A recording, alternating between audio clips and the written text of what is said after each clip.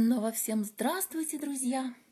Сегодня у нас суббота, 4 ноября 2022 года, и я, как вы знаете, уже нахожусь почти неделю в Англии. И, друзья, вы знаете, столько много у меня набралось для вас новостей, просто нагромождение, и я не знаю, с чего лучше начать чтобы вам успеть все рассказать. Ну, наверное, сегодня я хочу вам рассказать и показать то, что у меня происходит с поиском моей квартиры недвижимости. Давным-давно я вам не показывала новые ролики о том, как я себе ищу квартиру и что происходит. Ну, наверное, вы и сами понимаете, почему был такой у меня промежуток огромный и затишье здесь, потому что я уезжала почти на целый месяц, как вы знаете. Те, кто следит за моими видео, наверное, в курсе.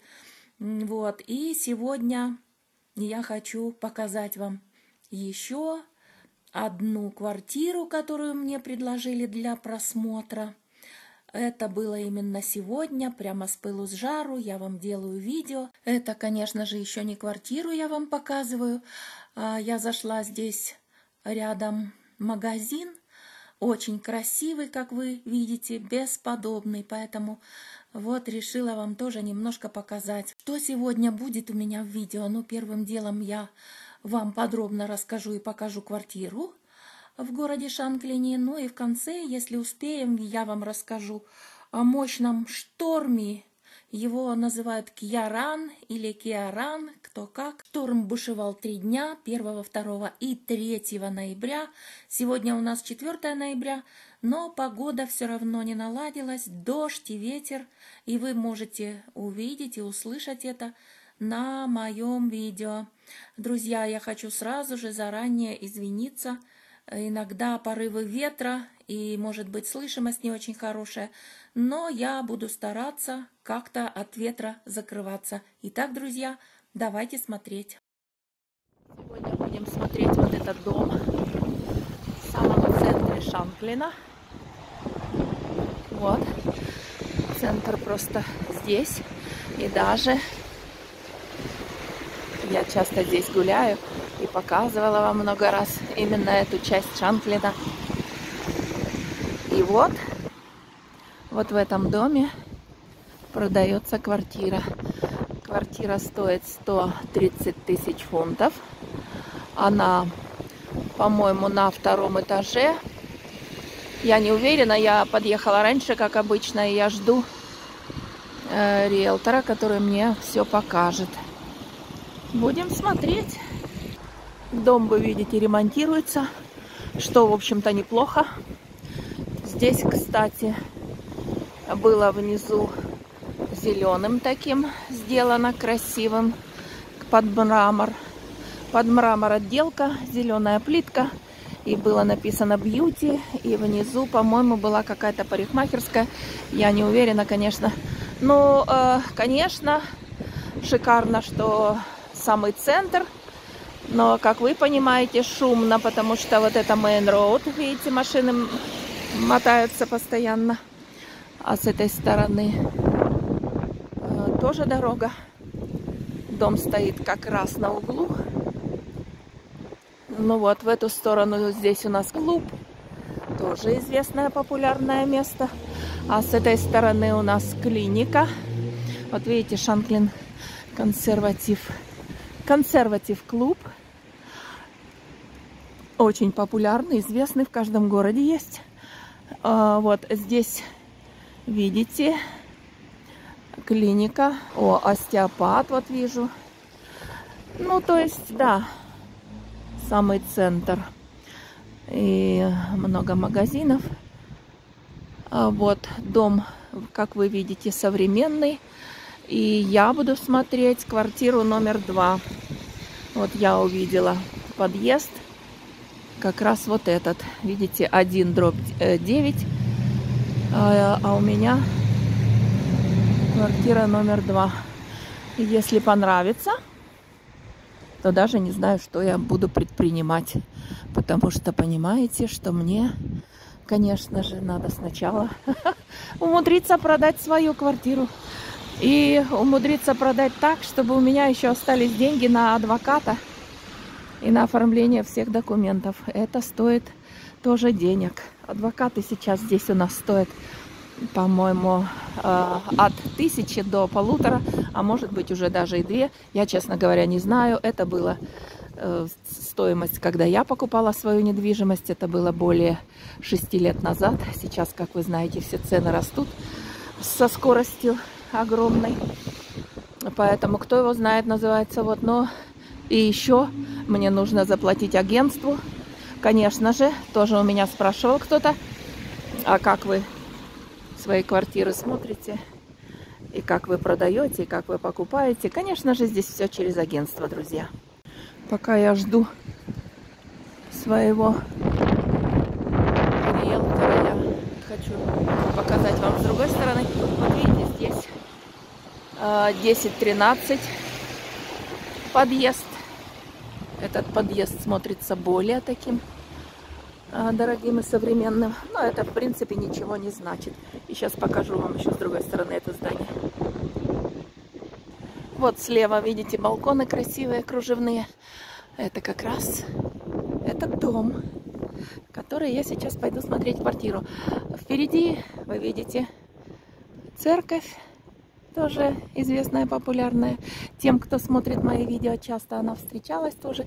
И еще хочу вам показать. Вот здесь как раз рядом вот дом. Вот такой красивый, замечательный. Но он большой. Это, конечно же, не апартаменты, такие, как здесь. Но все равно хочу вам заметить, что в этом доме как раз продавалась недвижимость вот за этой красной дверью номер 5. И она стоила 300 тысяч фунтов. Это было в 2020 году, когда я себе смотрела вокруг и искала тоже э, какую-то недвижимость по своему бюджету. Так, ну дождались, давайте пойдем от входной двери. Это второй действительно этаж.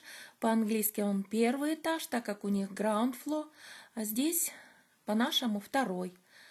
Так, вот здесь немножко я опять была в непонятках, потому что смотрите, что мы вроде как уже зашли, но оказалось, что нет, это общий коридор, и она мне показывает выход на парковку. Вот здесь. Вот видите, там за домом парковочные места, что, в общем-то, очень замечательно. И дальше, видите, огромная такая вот э, территория типа предбанника или как называется, да, три квартиры. И вот эта квартира номер два, которую сейчас предлагают на продажу. Давайте смотреть. Квартира 70 квадратных метров, квартира с одной спальней – это мы зашли, коридорчик такой при входе, посмотрите, довольно вместительный, большой. Здесь очень трудно ориентироваться, когда э, вещи и кто-то здесь живет. Ну, не кто-то, я спросила, может быть, кто-то арендует. Мне сказала риэлтор, что нет, не арендует, а это именно э, вот человек, который продает эту квартиру, в настоящее время в ней живет. Ну, так же, как я в своей сейчас живу. И вот смотрите, какая огромная вот эта room называется у них, она совмещенная с кухней. Посмотрите, какая огромная, три огромных окна и огромная комната. Так, смотрю по брошюре, значит, 7 метров на 4,27. Эта комната, представляете? То есть она 31 с половиной квадратных метров. И вот э, из нее вот такая вот кухня. Кухня размеры 3,05 на 2,5, то есть 7,60 э, квадратных метров это кухня. Ну вот она мне объясняет, что здесь можно договориться, чтобы вам эту кухню оставили э, с хозяином, но либо если вам не нравится, то это все он может забрать и вывести. Здесь уже все по договоренности. Смотрим, идем дальше. Вот она мне показывает utility room, такая кладовочка, очень маленькая, но тоже вполне себе неплохо. Смотрите, по поводу отопления, становимся немножко поподробнее, я вам расскажу. Называется по-английски storage heating, то есть накопительное отопление. Это не газовый, здесь радиатор, не газовое отопление, а это электрические радиаторы. Storage, то есть накопление, э, почему так называется? Потому что он, как говорят, там внутри содержит такие типа камни или кирпичи, как сказать, которые нагреваются от электрического вот этого вот э, прибора, который там внутри, и они держат очень долго тепло. Storage heating называется по-английски. Этот вид отопления распространен в Англии. Если в домах нет Э, газа, то вот storage heating как раз и спасает. В старых домах обычно такое можно встретить. Ну и говорят, что э, почему именно называется storage, как вы поняли, потому что долго накапливает и держит тепло. Хотя, сказать по правде, это уже устаревший вид отопления в Англии, и так или иначе его тоже нужно будет менять на более новый, то есть бойлер хитинг такой, как есть у меня. Хорошо, идем дальше смотреть квартиру. Вот здесь опять она показывает вот этот вот storage heating, видите? Не могу сказать, что здесь уж так уж прямо много места для этих кирпичей, которые там хранятся. Не знаю, как все это работает, друзья. Никогда не сталкивалась. Ну вот она показывает, что здесь у меня телефон, чтобы открывать входную дверь. И вот такая вот огромная спальня.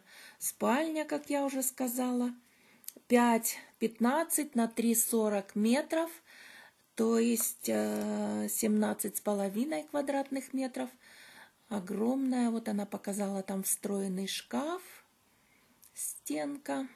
И здесь выход на балкон. Балкон на Мейн-Роуд, на центральную дорогу. Но здесь также двойное остекление.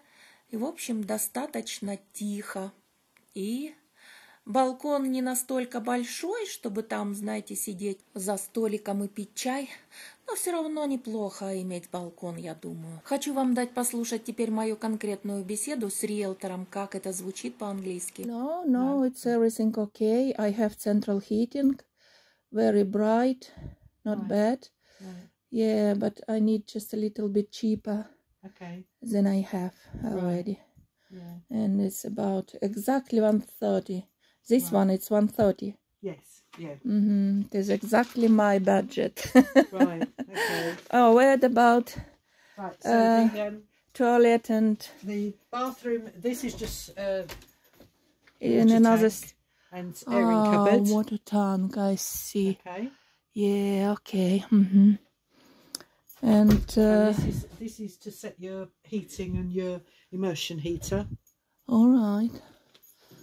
Uh-huh. And this is a and this is bathroom. Bathroom.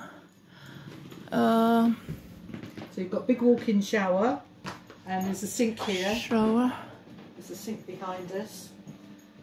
Yes, toilet and sink. Sometimes bath Sometimes I'm thinking about bus, sometimes not. right. You not, get a bath not have my decision yet. Yeah, that is that is a bath size, so you could have a bath in there. Yeah, I, exactly. I'm, I'm why I'm begin to talking because те, кто знает английский язык.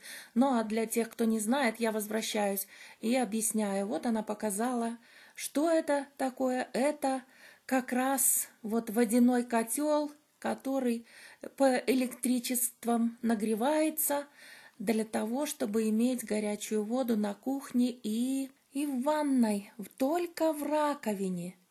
А вот душ, он тоже включается, электричество нагревается. Но видите, здесь совсем другой стоит обогреватель электрический для душа.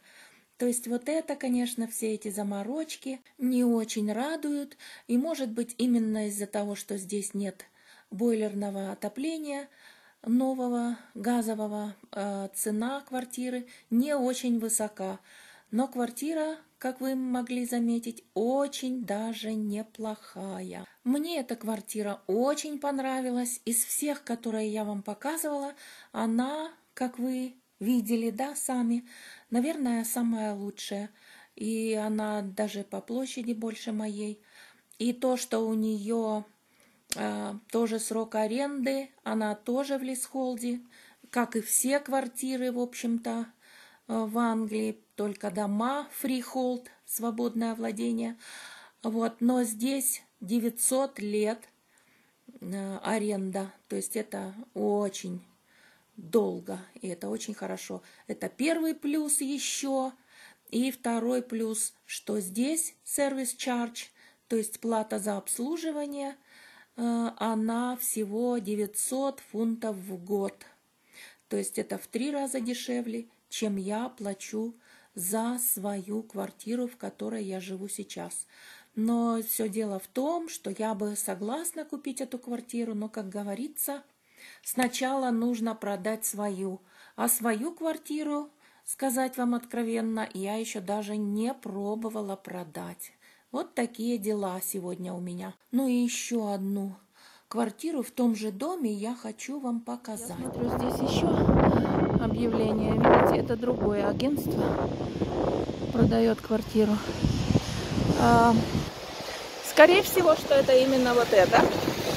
Скорее всего что именно через дорогое агентство продают квартиру здесь.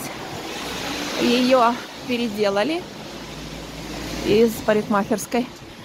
Я уже вам сказала, что здесь была, здесь была парикмахерская бьюти. А теперь вот видите флат 10. Господи, чуть не убилась. Флат 10. То есть одна единственная квартира, номер 10 на первом этаже. Вот можно даже посмотреть, погуглить и узнать, сколько она стоит. Ну а я пока жду агента своего. У меня есть время с вами поговорить. Я хочу вам рассказать. Погода, вы знаете, э, просто катастрофа. Вот сейчас можно увидеть такие легкие облачка, и даже наверху у нас э, просвечивается голубое небо. Но буквально 15 минут назад, когда я ехала сюда, лил дождь, просто ливень. Вчера у нас был град, не совсем крупный, но град, что удивительно, в общем-то. И дальше у нас был здесь э, ураган, шторм, не помню его название, э, не буду даже заморачивать ни себя, ни вас воспоминаниями, потому что здесь, в Англии, вы знаете, эти шторма, эти приходят ураганы, их называют Катрина, еще, э, еще как-то женскими именами Вероника, какая-то Виктория еще была. У нас в конце октября очень сильный был шторм, тоже не помню название. Но пока нас еще не снесло. Нас еще не смыло, остров Уайт не смыло. Хотя, вы знаете, мои знакомые, которые живут в Англии и которые живут там на севере, которые живут неподалеку от Лондона, они все очень взволновались, когда передали по BBC, что именно вот этот огромный шторм. Шторм Киаран, как я уже сказала вам, да, его название. Так вот, что пишут, что этот шторм обрушился на южное побережье Англии, вызвав высокие волны и дожди в районе города Пензанс в округе Корнуолл. И это, в общем-то, далеко от нас получается. В связи с этим Метеорологическое управление Соединенного Королевства объявило желтый уровень погодной опасности для Лондона и юго-восточной Англии, выпустив предупреждение о непогоде и суровых погодных условиях. И все мои друзья перепугались, кто живет в Англии на севере, Вот, все мне звонили, спрашивали, не смыло ли наш остров, и, как я сказала, ничего такого страшного не произошло. Ну да, ветер, да, дождь лил три дня, даже град, как я уже сказала. Но, тем не менее, вы знаете, все в порядке, никого не смыло. Э, хотя говорят, что вот Северная Ирландия пострадала очень сильно, там даже есть жертвы. Ну и вы, вероятно, тоже слышали об этом, э, таком урагане, шторме, обрушившемся на Европу. А я просто как очевидец хочу сказать вам, что здесь не так уж и плохо. А дождливая погода в Англии, она практически бывает зимой всегда. Ну вот, друзья, на сегодня у меня для вас все.